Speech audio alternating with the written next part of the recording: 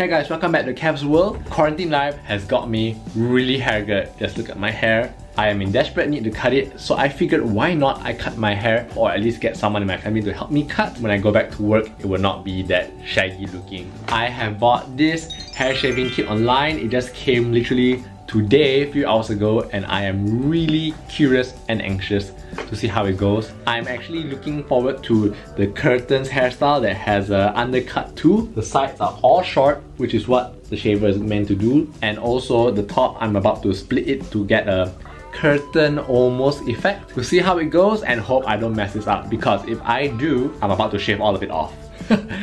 no kidding, I hope not. Alright, let's try that and see. Experiment 1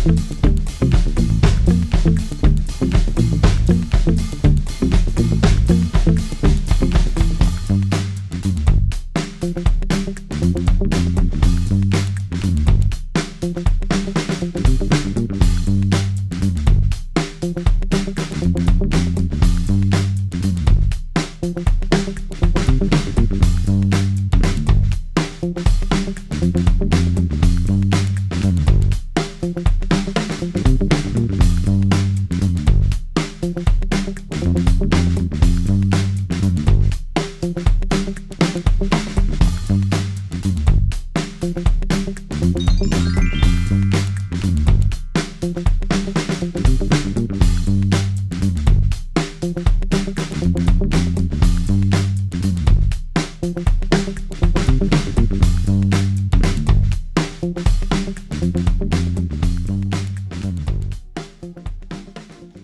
guys, this is it, the end result of the haircut. What do you guys think? Honestly, I am shook, I am pleasantly surprised. It is really what I wanted. Short curtain, and it's really light and breezy. Finally, I have shorter hair.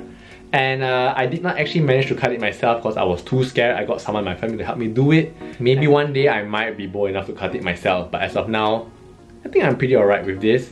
Enough to last me for the next few weeks until the real hair salon can be open amidst this whole lockdown. Old school feeling, but at the same time it's very Korean now and I love the, the brown highlights that I had from my previous hair dye. I hope you're entertained with this home haircut. I think it was a success. Really, really good shout out to my aunt and my sister who helped me. And I'll see you guys next time. Bye!